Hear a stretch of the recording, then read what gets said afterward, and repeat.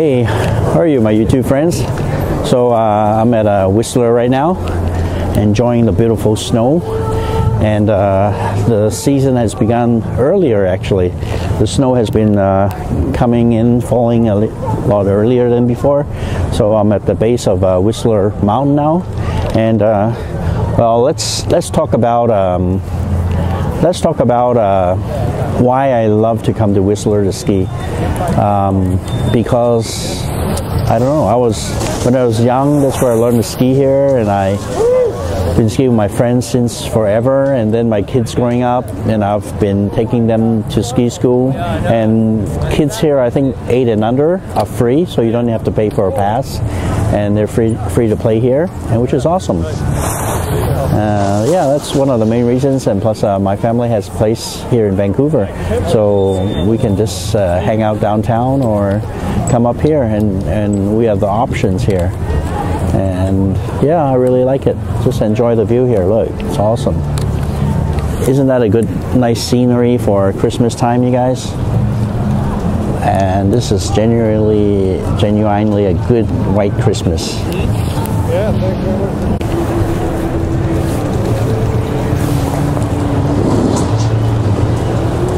Well, let me tell you uh, why I always hang out in Whistler.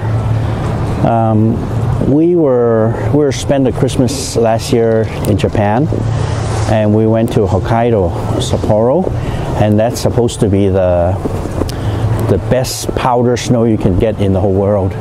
Which I do agree. You, you just get snowed in so bad, and in the morning you can't, you can't even find your car because it's so there's so much snow. And uh, the, the difference, let me tell you the difference between skiing in Sapporo, Japan, and in Whistler. Number one point is they don't really groom the mountain that much. I mean, they groom it, but like because it snows so much, they don't bother really grooming it. So when you ski down the mountain, usually there's just big chunks of snow on the on the uh, on the on the path, you know, and it's not good because when you ski fast or make turns or stuff like that, it just catches your ski because there's just a big chunk of snow in the middle of nowhere. And sometimes when it's a little bit foggy and cloudy, and I'm sure you're gonna be a you roll into a snowball and just just fall, which I always you know tend to catch the edge. So that's number one. And number two, the rooms there, condos or whatever, it's pretty expensive, you know. Like at least minimum like 200 bucks US. And the thing is, uh, unlike here, you, you, know, you cheat a bit. You say, "Oh well, we're gonna stay in a hotel, for example, four people. You can sneak one or two more in the room. It's okay, right?"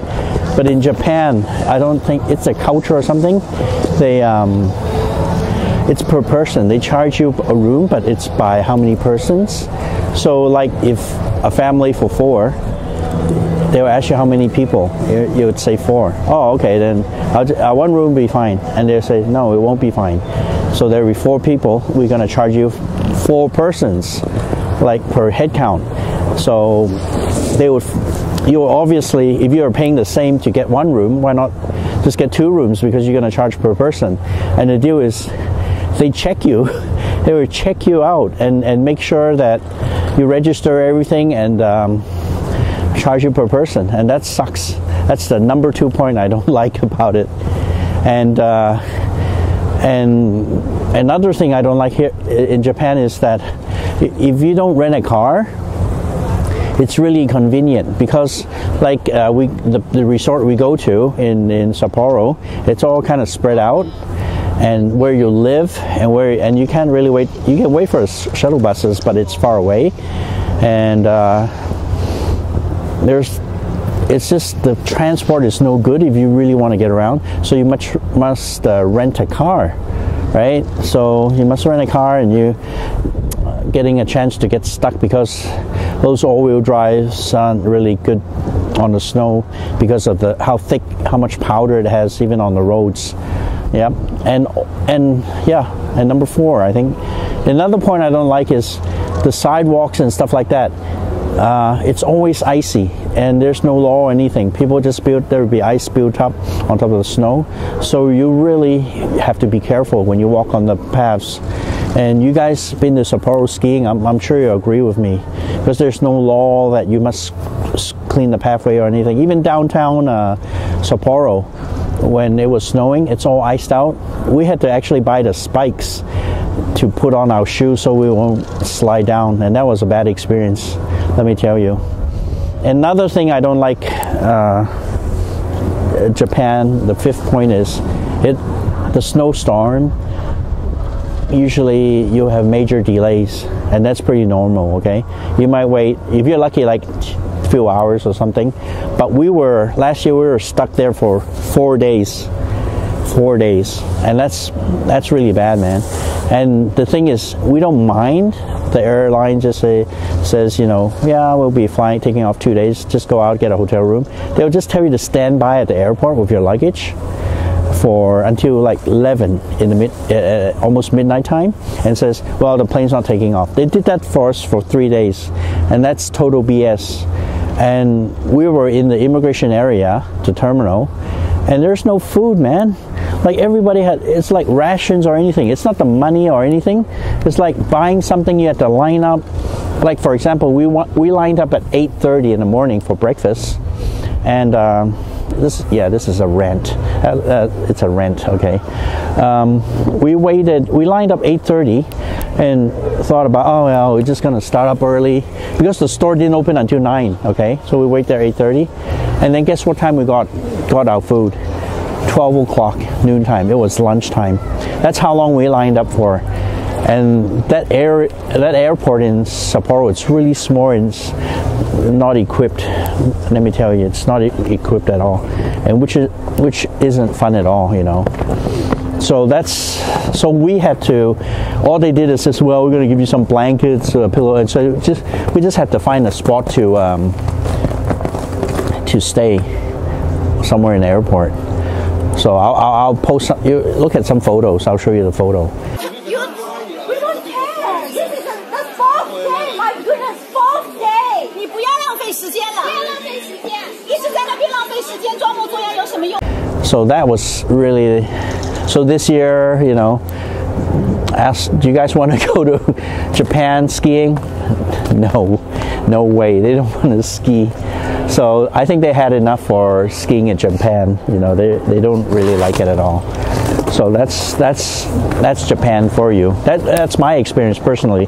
You guys, whoever's been skiing in Japan, you guys might had much better luck than I do, or whatever, you know. But for me, it's just, I, yeah, it's a rent. Yes, I know it is. Well, you can see my silly hat that uh, covers my ears. I really like this. You know why? Because this has like a scarf, but it, it's like a scarf, but you can put your your uh, you can put your uh, hands in it. It's like gloves, so you would never lose gloves if you if I wore this hat with uh, built-in built-in scarves. You know, that's awesome. Everyone's having fun. You can see. Well, like Mexican food here and uh, Burton's. If you guys are riders out there, Burton's a pretty awesome brand here. I'm not getting paid for it anyways. So look at the mountain. Isn't that awesome? And uh, heli skiing is great. I love heli skiing because you can have all the virgin snow, you know. You'll be the first to get on the mountain. And if you want powder, this is the place to come. Well, thank you for joining me today at Whistler. My mouth is not talking properly because it's so cold. so uh, relax, enjoy, like, and share. And I'll see you on the next one, okay? Have a great one.